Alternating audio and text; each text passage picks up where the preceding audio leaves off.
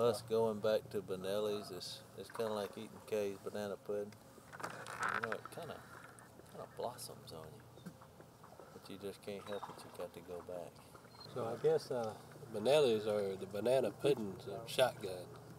They're definitely the toughest shotgun I've ever shot. I only clean them after a pouring down rain. Rest of the time, I just You ain't got to clean. stick shells in them. She wipe them off, blow They're, them up. they're real easy to break down and clean. But as Phil once famously said, and he's right, the best kind of shotgun is one that goes boom, boom, boom.